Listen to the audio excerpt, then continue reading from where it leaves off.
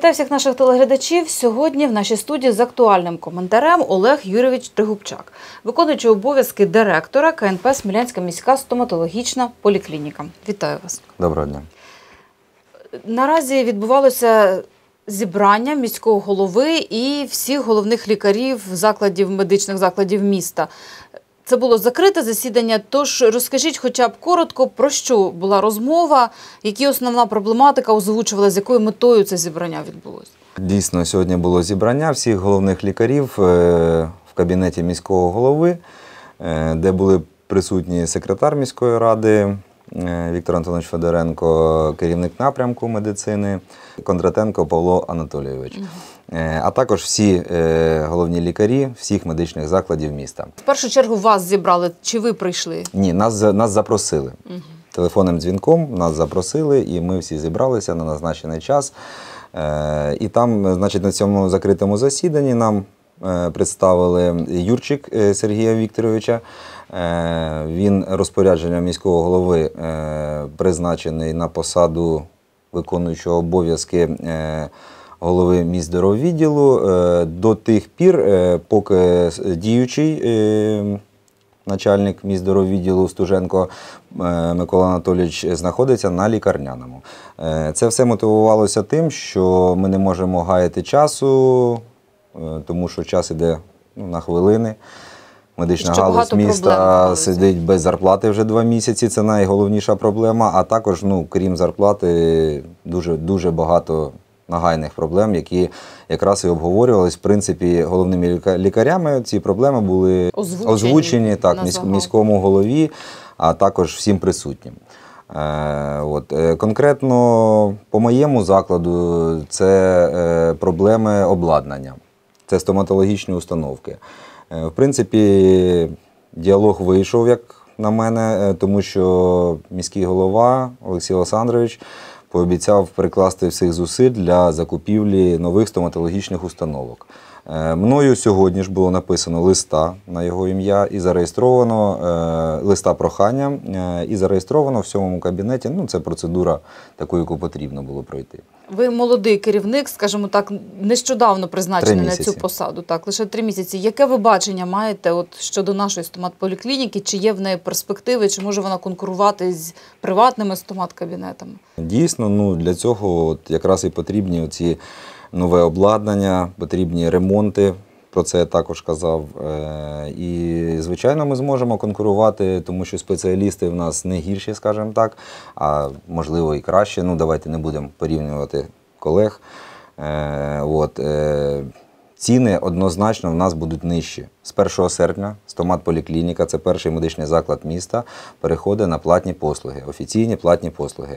В газеті Сміла було опубліковано тарифи на всі платні послуги. 64 послуги там. Ми зможемо спокійно конкурувати з приватними кабінетами, але ж ціни будуть ну, значно нижче, скажімо так. Я не можу зараз оцінювати там кожну послугу, де яка нижча наскільки. От, але нижче це точно будуть, ніж в приватних кабінетах. Також стояло питання обслуговування в цих умовах е, пільгових е, верст населення. Яким чином стоматологічна поліклініка має обслуговувати пільгові версти населення? Зараз розробляється програма е, по компенсації е, коштів з міського бюджету. Е, Тобто для людей ці послуги будуть безкоштовно, а міська влада буде компенсувати е, нам, як ну, стомат поліклініці, буде компенсувати е, ці затрати, витрати на матеріали. Е, Чому ціни будуть нижчі в стомат поліклініці? Тому що е, в- коли рахували ці ціни економісти, в ці ціни закладені е, лише вартість е, матеріалів та заробітня плата. Більше нічого.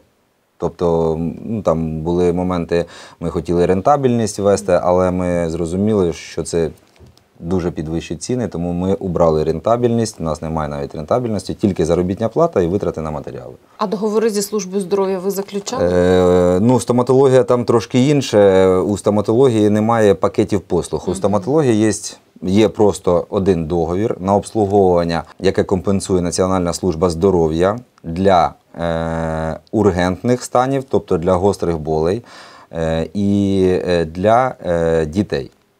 От, е, е, значить, е, стомат-поліклініка заключила 30 березня, тобто до 1 квітня, е, заключила цей договір з НСЗУ, і ми отримуємо компенсацію. Але, на жаль, е, розрахунки попередні, це вже визнано всіма, дуже занижені, тому що е, НСЗУ сплачує е, стоматологам значить, 9 гривень 19 копійок на одну людину.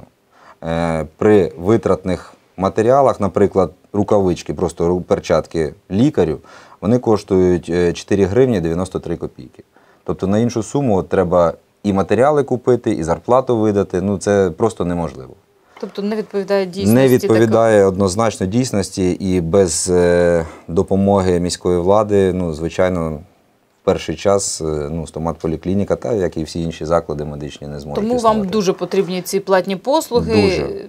Щоб люди могли обслуговуватися. І щоб ми могли е, менше залежати від міського бюджету. Я маю на увазі заробітну плату працівникам. Одразу, звичайно, ми не зможемо перейти на повністю самофінансування. Це, ну, це просто неможливо. Зрозуміло, ми трохи відволіклись від розмови. Все-таки була ця нарада. Як ви вважаєте, і що озвучували ваші колеги? Чи почули решту лікарняних закладів нашого міста?